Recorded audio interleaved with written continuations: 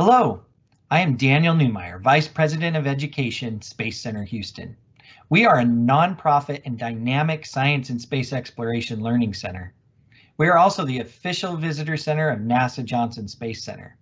We share the story of human spaceflight with more than 1.25 million visitors annually from around the world. Thank you for joining Space Center Houston's first virtual astronaut visit. Today's program features a presentation from retired astronaut Dr. Leroy Chiao, followed by a moderated Q&A session. As a leading science and space exploration learning center, we provide robust digital learning experiences and exceptional access to leaders in space science. Today's program is one way you can be part of the NASA mission. Before we begin, I'd like to share a few updates about Space Center Houston. As you know, following state, local, and CDC guidelines, Space Center Houston temporarily closed in mid-March due to the pandemic. Throughout our closure, we are providing more digital learning experiences to make science and space exploration learning accessible to everyone. Check out our Space Center Houston blog for engaging content like our new History Up Close video series featuring an insider look at our extensive artifact collection. Plus, we have a new Try This at Home blog series, providing you interactive science-based activities students and families can do together. Did you know you can take a virtual tour of the museum from home? Download the Space Center Houston free app for augmented reality and videos about the future and historic feats in human space exploration. The app is available in Apple and Android devices. And to take part in other digital learning experiences, go to our one-stop shop webpage, spacecenter.org backslash resources. And now for more exciting news. We recently announced, after careful consideration and following the state, local, and CDC guidelines, Space Center Houston will reopen July 1st. We look forward to safely welcoming back guests with new exhibits, spacious outdoor experiences, and additional healthy and safety measures at the forefront of our daily operations.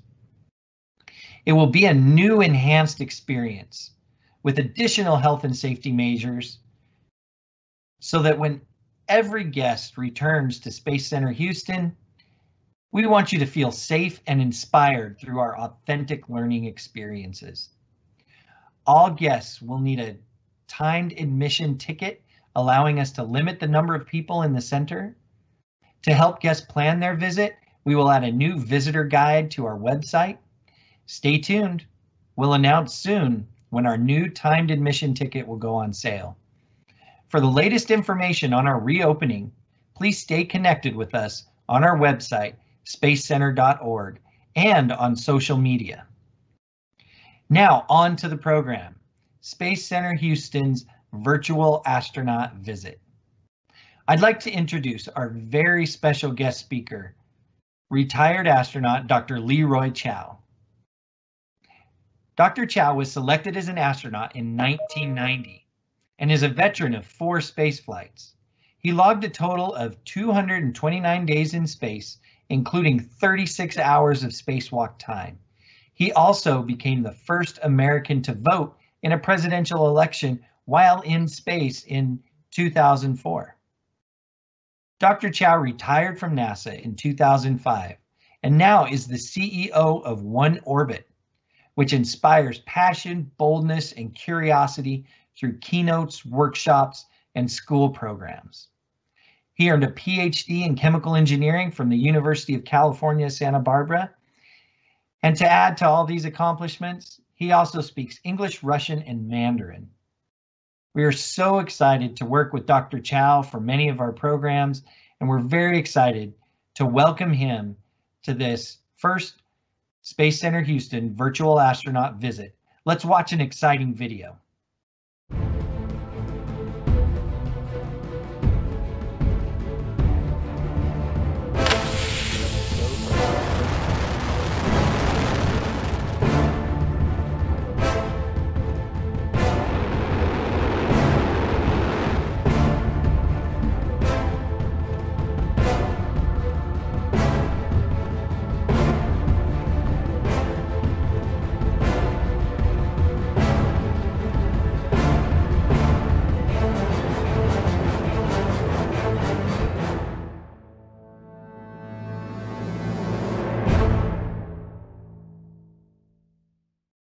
All right. Well, thank you, everyone. Thank you, Daniel, for that very nice uh, introduction. I'm very excited to be here today to be the kickoff of the new Space Center Houston Virtual Astronaut Program.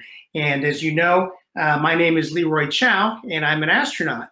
Over my 15 year NASA career, I did get the chance to fly four times into space. Uh, my first three missions were aboard space shuttles, and on my fourth flight, I trained with the Russians. We launched aboard a Soyuz rocket, and we flew to the International Space Station, where I served as the commander and NASA science officer during Expedition 10. Well, I grew up during the 1960s, during the very beginning of the space race, during the Cold War. I followed those early missions with a lot of interest, and it was a really exciting time. Back then, uh, the guys that were my heroes were the uh, people like uh, Alan Shepard, the very first American to fly into space. But it really was the Apollo moon program that captured my imagination and made me start to dream about uh, getting into space myself. Even as an eight year old, uh, that was an exciting thing. And as you all probably know, last summer, uh, about a year ago, was the 50th anniversary of that event. And so I'd like to show you this uh, video that NASA put together that kind of captures the excitement of the Apollo 11 moon mission.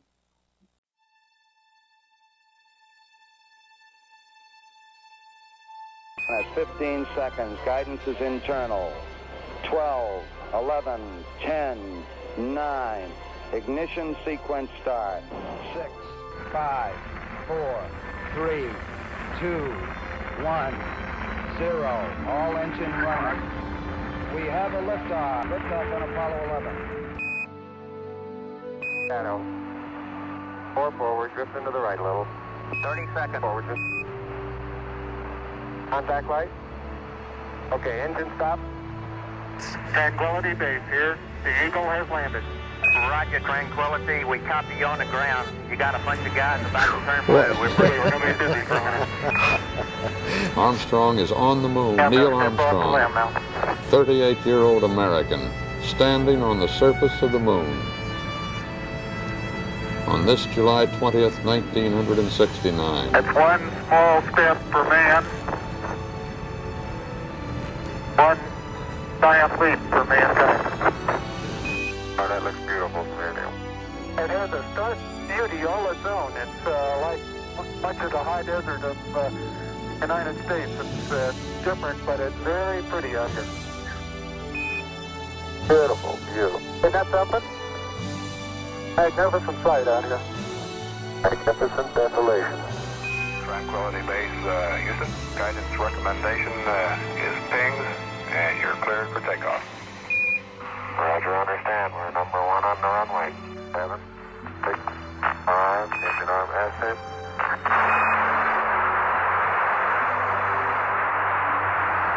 Shadow, beautiful. Very smooth. Very quiet ride.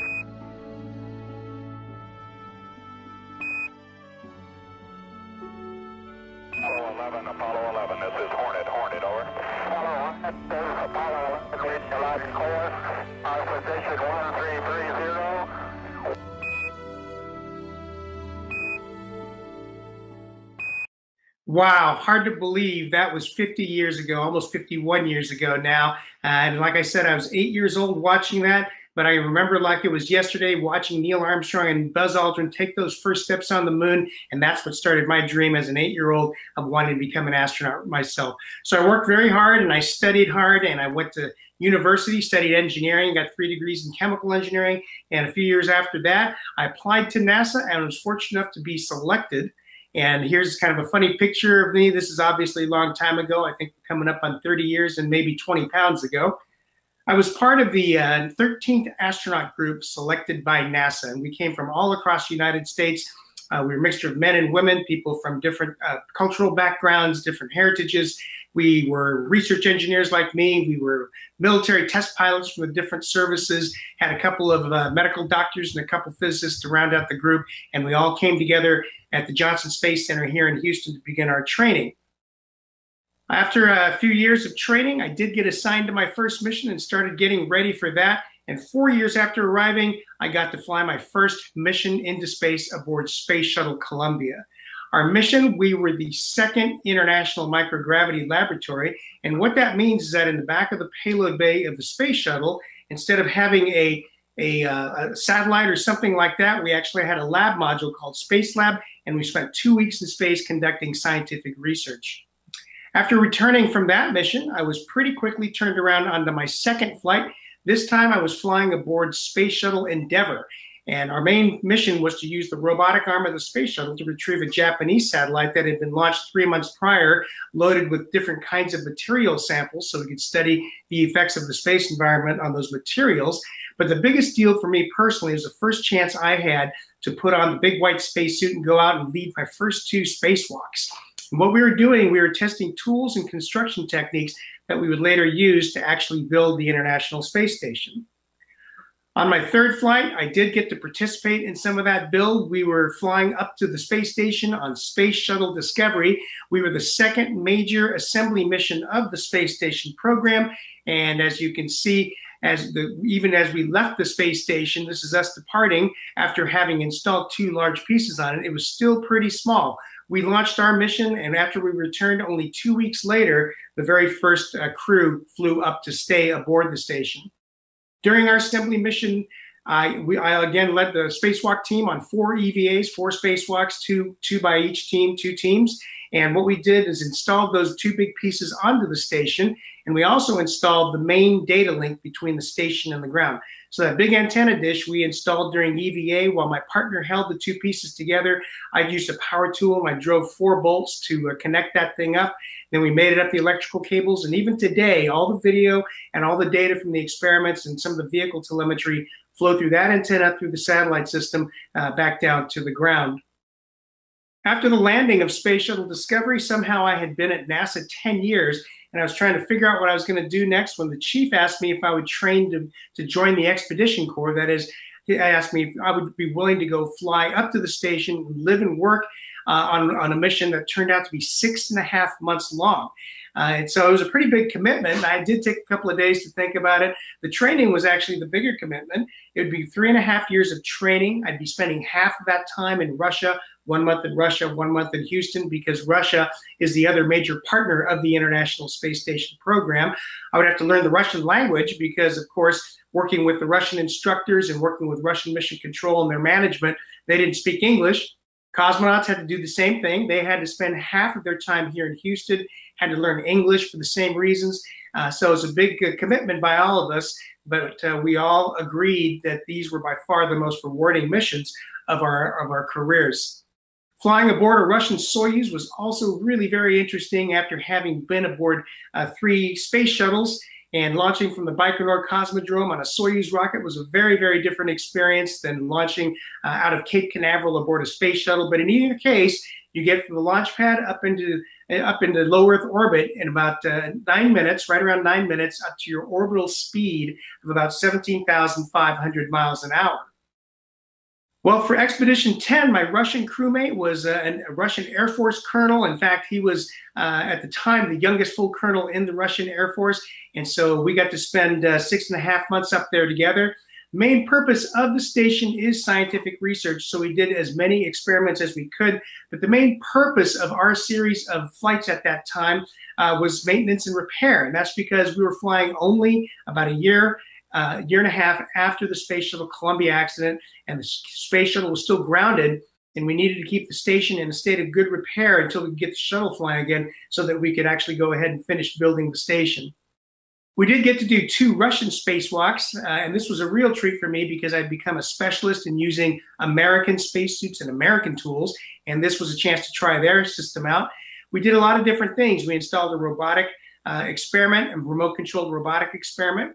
We retrieved experiment packages that had been left outside by previous crews, and uh, uh, we, we furthered space station construction by installing navigation antennas that would be used by future cargo ships. Well, spaceflight really is a magical experience. It's a life-changing experience. I don't think anyone flies up into space without some pretty serious introspection about what it all means. And our favorite activity up there is to look back at our beautiful Earth and take photographs. On this mission alone, I shot over 16,000 photos of the Earth. I'd just like to share a few with you. Here we're looking uh, over the Himalaya mountains into China, and from our perch of about 280 ups, uh, miles up, the Himalayas look pretty small. But remember, down there somewhere is uh, uh Mount Everest, the tallest peak on the Earth. Here's a picture of some different places around the world. This is Beijing, the capital of China. You can see the light snowfall is really helping to bring out some of the detail. The, the rectangle in the middle of the photograph, that's the uh, Forbidden City where the old emperors used to live. Here's a picture of New York City. This is uh, Manhattan Island. You can see Central Park clearly. You can see the skyscrapers. You can see boats in the east and the Hudson Rivers. This is the southern tip of Florida. This is a really beautiful part of the world, South Florida and the Bahamas. The blues and greens just jump out at you, and it's really unlike anywhere else in the world. Here are glaciers in Patagonia in Argentina. Uh, really a striking feature to be able to see from space. These are the Great Pyramids at Giza. You can see some man-made objects, big cities, of course. The pyramids I did finally find, and you can see the two clear ones and the two big ones pretty clearly in the middle of the screen. And if you go down from the two big ones, you can make out the third smaller one. And then if you look to the left of the third smaller one, you can make out the outline of the Sphinx. Sometimes the most desolate areas on the earth are also the most striking. This is the Salamat Basin in Chad. This one is one of my favorites. This is Lake Nasser in Egypt. I was able to capture this photograph just at the right time when the angle of the sun was reflecting almost perfectly off the surface of the water into the camera lens and it lit up brightly and this is exactly this is really what it looked like looking out the window. Sometimes mother nature is just funny. I saw this picture and i grabbed the camera and had the perfect thing to send to my wife for valentine's day. It was pretty hard to been hit pretty hard to top though well six and a half months was about up it was time for us to start thinking about coming home uh, the Russian Mission Control Center asked us to put our suits back on to make sure they still fit because in space, in the absence of gravity, uh, your, your spine relaxes and you end up stretching out about one and a half inches. And so they wanted to make sure they still fit and have to accommodate for that when they build your suit. Of course, being operational guys, we had a good laugh. Uh, what were they going to do if the suits didn't fit? We were still going to come home. Here's Salizhan in the center seat for, uh, for entry. And here I am in the right seat for entry. This is about 45 minutes before touchdown, before the deorbit burn. You can see it's pretty cramped inside that Soyuz, a lot more roomy in the space shuttle. Space shuttle is definitely more of a, a business class seating arrangement, whereas the Soyuz is definitely much more super economy. Space shuttle, of course, had wings, so once it came down into the atmosphere, it turned into an airplane and it would land on a conventional runway. In the case of capsule spacecraft, you have to uh, use a, a parachute, and uh, even though you're using a parachute, you're still falling fast, so about 25 feet per second. And so right before touchdown, those solid rocket motors do fire to slow you down. We have other shock absorbing uh, things. And so it hit, hit the ground pretty hard. It doesn't hurt too bad though. Uh, here you can see that we've tipped over, which happens sometimes, making it even less comfortable. But the rescue forces were right on top of us. Uh, they got us out of the vehicle in about 20 minutes, sat us down in lawn chairs, uh, handed a satellite phone so that we call our families and loved ones and let them know that we were safe. After a quick ceremony in Kazakhstan, they put us back on the airplanes. They flew us back to Star City outside of Moscow. There we are reunited with our, our families. And then I spent the rest of the year kind of closing things out, doing the debriefs, writing the reports. Salizhan and I, uh, you know, we kind of we kind of uh, visited everyone and thanked everyone who had helped make our mission such a great success. And then it was time to move on and do other things. I had such a rich flying career, been at NASA for 15 years. It was time to give some of the younger folks behind me a chance to go fly their missions. So I stayed in the Houston area and started doing a lot of different things, including uh, some consulting work and some speaking and uh, let's see, some years ago, I was asked to be a part of the uh, White House committee to look at NASA human spaceflight plans. And uh, a lot of things have changed over the years. If you've been following progress, I can kind of bring you up to date to where we are right now. Space Shuttle, of course, was retired in 2011. And personally, I think that was a mistake. And it kind of hurt me to, to watch these beautiful machines go into museums. But it is what it is and we had to kind of keep moving on. We're still building the next generation uh, government spacecraft called Orion. Orion is, as you can see, we've gone back to a capsule design, and uh, it's being it's being designed so that it can one day take humans well beyond low Earth orbit and bring them back safely and still be reusable. We still have our international partners working with us on the new programs. The European Space Agency, for example, is is supplying the uh, the uh, the service module that is underneath Orion that will allow it to maneuver and change orbits once it gets into space. We're also building a new series of rockets called the Space Launch System, or the SLS. Comes in two variants. The variant on the left launches Orion into low Earth orbit. The variant on the right is called the heavy lift variant. That'll take the other components of a spacecraft system into uh, orbit to be assembled in orbit and then be propelled away from the Earth. Probably the most exciting yet the most controversial part of the policy back then was that NASA was ordered to help commercial companies develop the capability to launch astronauts on their own. SpaceX, of course, uh, everyone's heard of SpaceX. In fact, we almost had a launch just a couple days ago, and hopefully we'll have that launch tomorrow. They've been launching their rocket and their spacecraft uh, loaded with cargo successfully to the International Space Station for a number of years now. Hopefully tomorrow we'll see two astronauts uh, Doug Hurley and Bob Behnken launch for the very first time since 2011 from U.S. soil on a U.S. vehicle first time on a commercial vehicle, and this will be a big shot in the arm for all of us, especially for NASA and for SpaceX. The other company receiving NASA funding and assistance is uh, the Boeing Company, of course, very well known name there in aerospace. They're developing their own spacecraft called Starliner. In the case of Starliner, Starliner will hopefully fly not too much later than, than SpaceX. It'll launch aboard an Atlas V rocket. Atlas is the longest serving rocket in the US stable, very reliable rocket, been constantly upgraded for over the years. As far as ISS goes, ISS is slated for operation through at least 2024, and uh, it's fully expected, hopefully, that it will be extended. It's a very important part of any exploration program because we have to design uh, equipment and we have to design medical countermeasures on how to keep astronauts healthy during, say, a mission to Mars. And we have to test and prove those things in space on a platform like the ISS. Of course, you've been hearing recently a lot about moon missions. And the goal the president has set is to get back to the moon by 2024. That's a very ambitious goal, not impossible, but very ambitious. It may or may not involve a gateway. Probably we're going to have a two pronged program now. The gateway will allow us eventually to sustainably uh, explore the moon and then allow us to go on to Mars. I think it's very important that we go to the moon before we go to Mars for a number of reasons, not the least of which is that we haven't landed on the moon since 1972. And so we need to relearn how to do that. We need to test out our habitats, our rovers, spacesuits, our operations, train astronauts, do all those things uh, before we send a rocket and, and the spacecraft off to Mars. Course, the goal is to get boots on the ground on the red planet in a sustainable manner, kind of continue to explore Mars, and, and we can only imagine some of the discoveries that we're going to make once we can start getting astronauts out there to supplement all the cool things we've already learned from the rovers that we've been spending over the past few decades. Well, there's something very exciting going on in the industry called the Great Rocket Race, and companies like SpaceX have really tilted and changed the way that we launch satellites. They've dramatically dropped the price of what it costs to launch a satellite. Other companies are coming up with their own rockets that will also drop the cost companies like Blue Origin, Jeff Bezos' Blue Origin.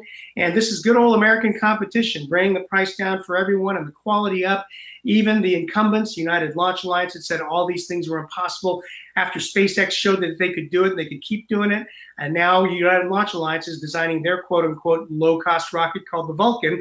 And it's going to be uh, in a way, imitating a lot of the way things that uh, SpaceX has done. And so that just shows you the value of this kind of competition course, SpaceX wants to go to Mars. Uh, Elon Musk has said many times that he started SpaceX because he wants to put colonies on Mars and he himself wants to travel to and live on Mars. A couple years ago, SpaceX did something really cool. They launched the biggest rocket uh, out of the U on U.S. off of U.S. soil that has flown since the Saturn uh, Saturn V rockets. What's cool about this launch? One of the cool things is those two boosters on the side. You see, the core has three sections. The two on the outside those were from previous launches of satellites. Those were the first stages from those rockets that came back and landed, were refurbished and reused again. That's one way that SpaceX has dramatically brought, dropped the price of launching uh, launching things. Here's a really cool picture. This is for real. These are those two same boosters having flown their second mission coming back and landing. They're not taking off. They're landing back on their pads uh, back at, at the Cape Canaveral, ready to be refurbished and reused again. Usually, when you launch a new rocket, you launch water as the payload. That's because if the rocket has a problem and explodes, you just spray a bunch of water everywhere. It's not a big deal.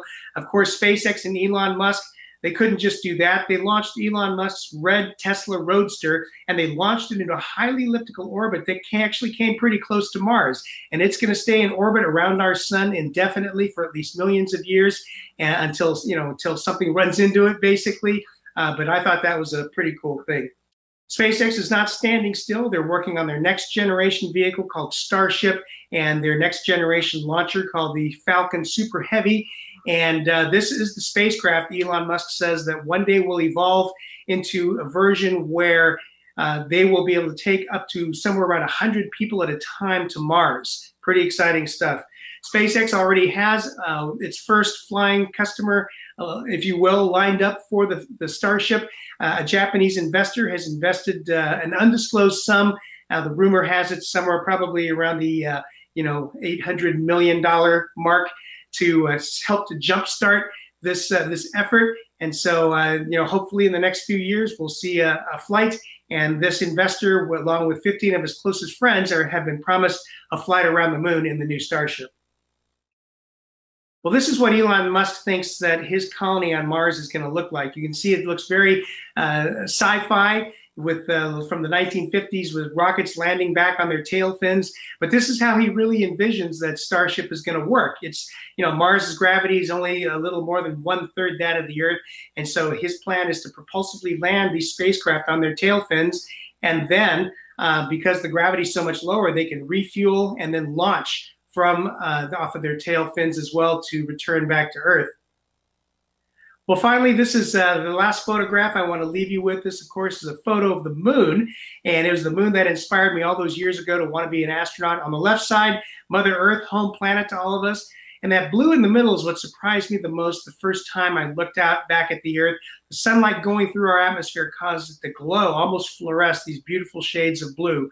So this photo says dreams to me, and especially for young people, but for everyone, and especially in these difficult times, it's important to keep dreaming, dreaming and keep motivated and keep moving ahead.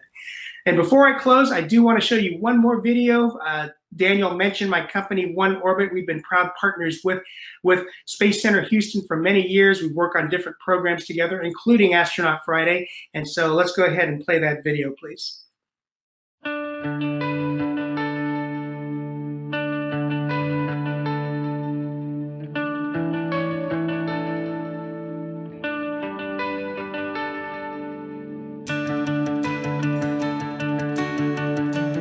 The key to innovation is collaboration, curiosity, and creativity.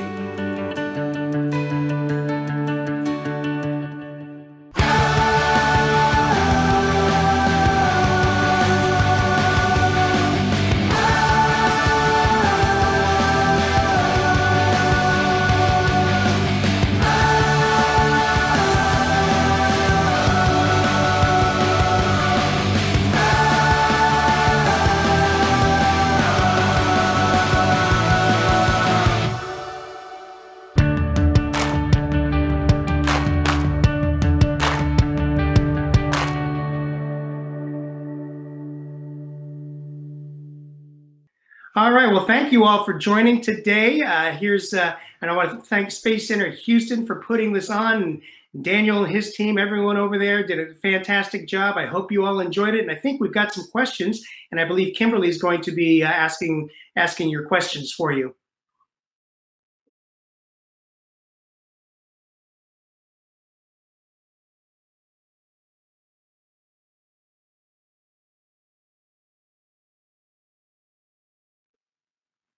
Yeah, space shuttle launches were pretty violent because they had solid rocket boosters on the side, those big white solid rocket boosters.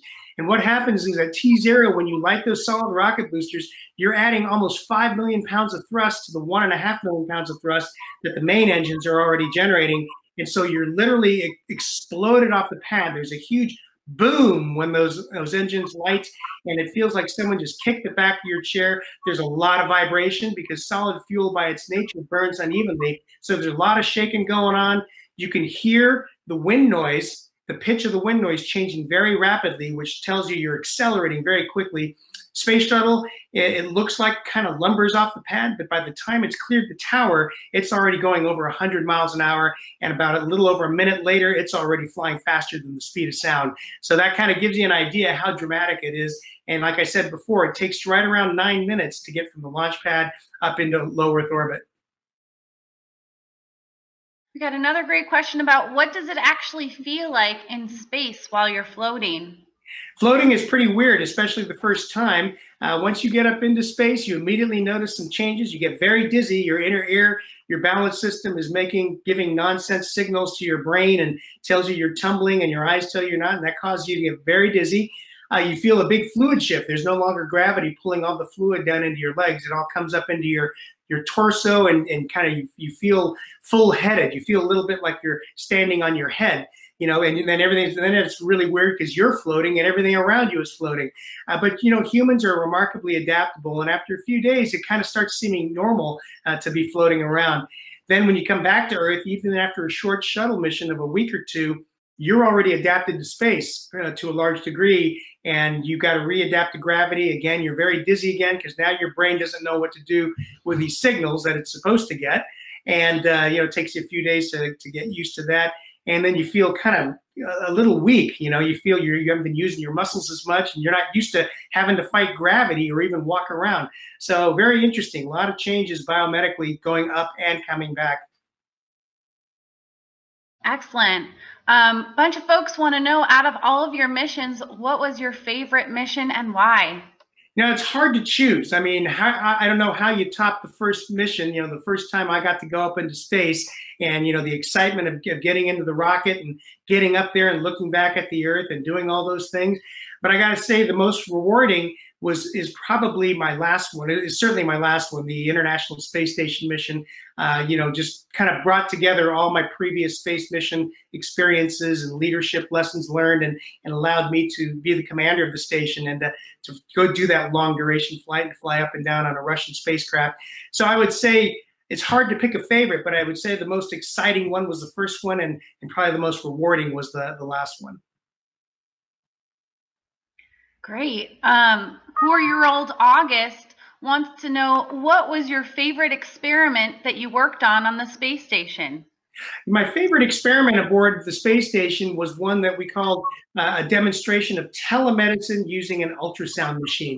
And so, using an ultrasound machine to image each other's internal organs and bones and teeth, and we even did the first eye exam in space using an ultrasound machine, uh, we were able to demonstrate that with doctors' help on the ground, we could be their hands, if you will, in space and, and do these diagnostics.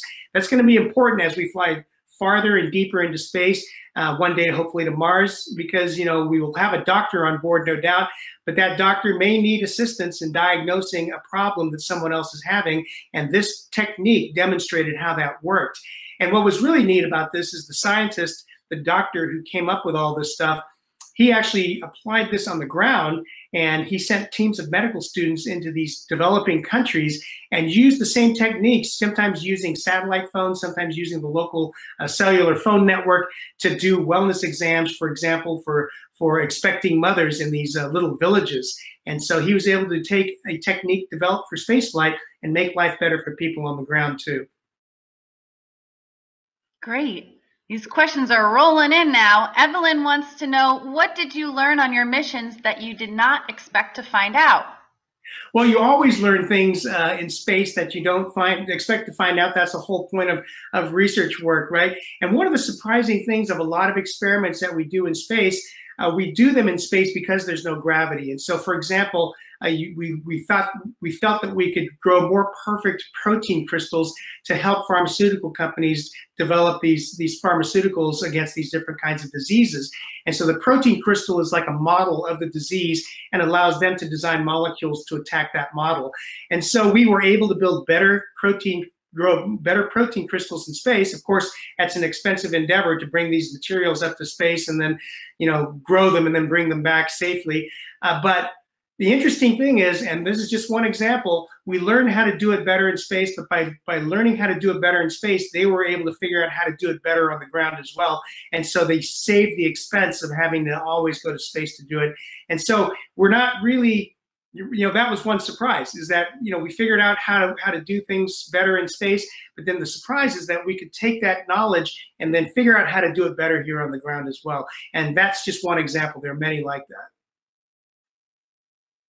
Great. We've got a, a, bunch of questions too about Mars here. So, why are we focused on going to Mars as opposed to other planets? And do you think that the timeline of going 2032 um, might actually work? Mars is our next closest neighbor, and so it's the next logical planet for us to go to. There are also many other scientific reasons and interesting reasons to go to Mars. You might have seen in the news just months ago, only months ago, NASA announced that the Curiosity rover found embedded methane in sedimentary rock. And what that means is that methane was buried in that rock billions of years ago, maybe two or more billion years ago. And what's exciting about that is one way the methane might have gotten there, there could have been something alive, like some kind of microbial life that is life that you know you need a microscope to see. But that the fact that there might have been life billions of years ago on Mars that created that methane that got trapped in the rock is really, really exciting. So if we can send astronauts to Mars one day to actually do some digging and who knows, maybe they'll find some no kidding evidence, hard evidence, you know, of fossilized remains of, of microbial life or even, you know, maybe even a little more complex life. Just think of the cultural impact of finding life in our own cosmic backyard, the next planet over from us. I mean, that would be really huge. As far as getting there by 2032, that's ambitious. No kidding, it's ambitious. But Elon Musk is dedicated to doing it. I don't know if he'll get there by 2032. And I don't know if, if he'll do it by himself or SpaceX or in collaboration with NASA. But I, I would I will say this: I'm I'm almost positive he will get to Mars. Uh, question of when by 2032, he'll tell you that he'll get there well before 2032.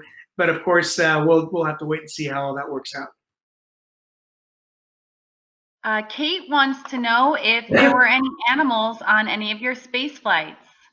Yes, there were. On my first space flight, it was a research flight, and we had a, the Japanese uh, payload package included a lot of aquatic animals. So we had uh, little uh, Japanese goldfish, we had little medaka fish, which are like minnows. We had Japanese red-bellied newts, you know, these little uh, kind of these uh, salamander-like uh, like creatures. And we studied these creatures and these animals because they have inner ear balance systems just like humans. And we wanted to see how they would adapt to the space environment.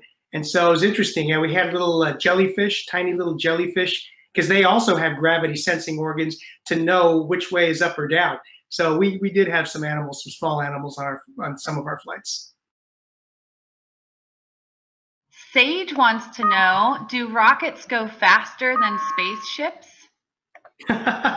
well, rockets take spacecraft into space. So uh, so they're going about the same speed once you get up into space, right? So you need the rocket to get the spacecraft or the spaceship, if you will, uh, up to space and up to those uh, the orbital velocity of about 17,500 miles an hour. Great. Um, let's see. Hannah uh, wants to know what were you thinking about just right before um, sitting in the rocket during the launch? So, you know, you get into the vehicle, you get into the rocket about two and a half hours before launch, right? And so during that time, there's a lot of things going on, mostly with the launch control center and the engineers checking things and, you know, you're, you're fueling, you're doing all those things. And so, um, or replenishing fuel, I should say. And so you've got a lot of downtime and actually most of the time, you know, we might take a little nap, might actually doze off for a little while and then you know, we wake up, of course, in plenty of time, and and it starts getting more real as you get inside the final 30 minutes or so. And uh, for for my first launch, you know, you get into the vehicle, everything's very familiar because we spent hundreds of hours in the simulator. So all the switches, the control panels, everything's very familiar, and uh, so you feel like you're at home. But then it became very real in the last minute. At T minus one minute, that's when we got the call from the launch control center to close and lock our visors, initiate oxygen flow, and have a good flight. So that last minute goes by very quickly, and that's when you get the shot of adrenaline and and you start getting you know start getting fired up and and uh, ready to go. And then when you actually launch, that's that's actually what I felt was relief, because uh, what happens is you know as an astronaut, you're always you know, as you get closer to your launch, it might sound funny, but the thing we, are afraid of is not the risk. The thing we're afraid of is something's going to happen that gets us, keeps us from getting to go. You know, just imagine if, if maybe days or weeks before you get a medical disqualification, or maybe in the days or weeks leading up to the launch, you get in a bad car accident. You know, and so, but once those boosters light uh, on the shuttle, uh, you're going somewhere. And once they lit, I actually felt a big wave of relief and then excitement. Great. Um, Brian wants to know if your heart rate goes up when you're in space.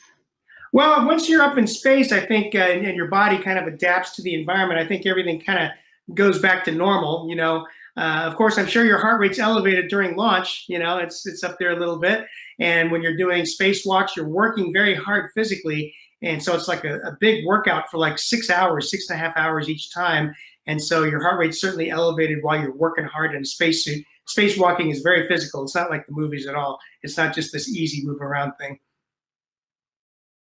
All right. And the last question any advice to the kiddos that are watching now who want to become an astronaut?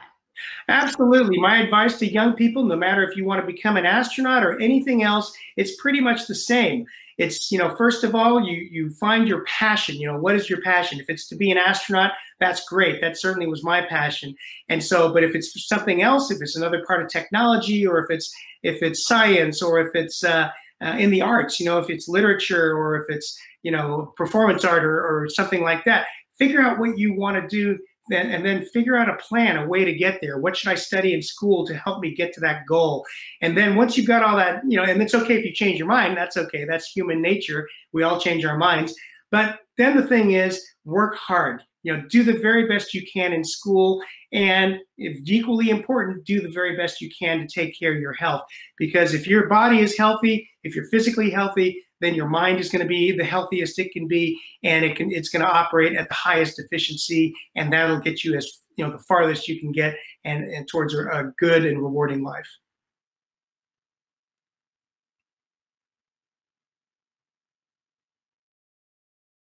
Great. That was the last question. All right. Well, thank you, everyone. I hope everyone enjoyed it. I've sure had a great time. Uh, exciting to be um, meeting with you all today, and hopefully as Daniel said, sometime uh, hopefully July 1st on, we'll, we'll all get to meet each other in person again down at Space Center Houston.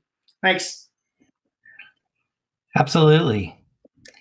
Thank you, Dr. Chiao, for that amazing talk. You know, it's fantastic to hear everything, you know, to, to explore your knowledge and everything you, you bring to us. We appreciate that. Uh, definitely want to encourage people if you if you look for opportunities to to have Dr. Chiao come to your school or go to your business, you know, check out oneorbitcdr.com uh, for some great opportunities there. Uh, and like he said, we're super excited to reopen on July 1st with time ticketing. So watch closely for us to uh, watch closely on our website to explore those opportunities. And again, please check out our virtual resources at spacecenter.org backslash resources. And one additional exciting event that we're happy to announce is uh, we have these virtual camp-ins that happen. Uh, that's going to happen next Friday, and we're excited to announce that uh, the astronaut artist Nicole Stott will be joining us for that experience. So check us out on the website for that for that opportunity. Sign up. It's a great chance to to spend time with your family. Put a tent up in the backyard do some great hands-on STEM activities, and and hear from you know another fantastic astronaut like Leroy Chiao. So I want to thank everybody for for your attendance. I want to thank you for taking this time to be with us and to be part of the NASA mission. Make sure you watch that launch tomorrow and keep dreaming and exploring space. Thank you very much.